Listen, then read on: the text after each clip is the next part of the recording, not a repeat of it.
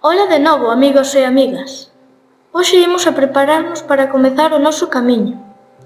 O primeiro de todo é elexir unha ruta a facer. Como xa vos dixen eu, vou percorrer o camiño inglés saindo de Ferrol. É recomendable facer unha planificación por etapas. Dosificar o esforzo para ir ao teu propio ritmo ten en conta as distancias entre as paradas e os albergues, así tamén como o clima. Non é o mesmo facer o camiño no inverno que no verán ou na primavera. A pesar de que a dificultade do camiño non é alta, recoméndase facer un quecemento previo cada día e adestrar saindo a camiñar os meses anteriores.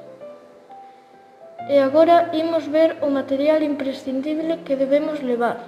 Este é unha mochila, roupa e calzado adecuados, mudas, chubasqueiro, un saco de dormir, material de primeiros auxilios para facer as curas, teléfono móvil e cargador, un gorro para o sol ou o frío, cantimplora, un bastón para os terreos pedregosos e elementos de sinalación nocturna. Ah, moi importante tamén é a documentación. Sempre debemos viaxar con DNI ou pasaporte en regla. Ademais da tarxeta sanitaria, por se xurdise calquera problema médico durante a nosa peregrinación. Bueno, pois xa estamos listos para comezar a nosa aventura. Vémonos no punto de partida. Hasta luego.